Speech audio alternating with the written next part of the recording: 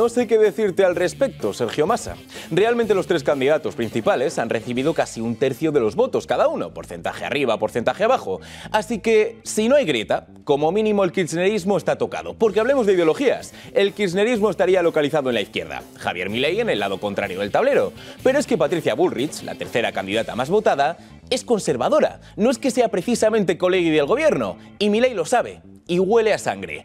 ¿Qué pasa ahora con ese más del 20% del electorado argentino que ha votado a una candidata que no irá a la segunda vuelta?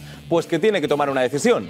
Massa o Milei. Y ante esta nueva imagen, el líder de la Libertad Avanza ha pedido a sus ciudadanos y a los políticos que han sido votados por los mismos que se unan a su movimiento. Hoy es un día histórico porque dos tercios de los argentinos votaron por un cambio Votó por una alternativa a este gobierno de delincuentes que quiere hipotecar nuestro futuro para permanecer en el poder.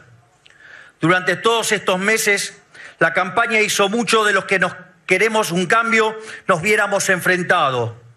Por eso, yo hoy vengo a dar por terminado ese proceso de agresiones y de ataques y estoy dispuesto a hacer tabula rasa, barajar y dar de nuevo con el objetivo de terminar con el quiserismo. Y de nuevo, ahí Milei tiene razón. El kirchnerismo ha recibido alrededor de un 37% de los votos. Un 37%.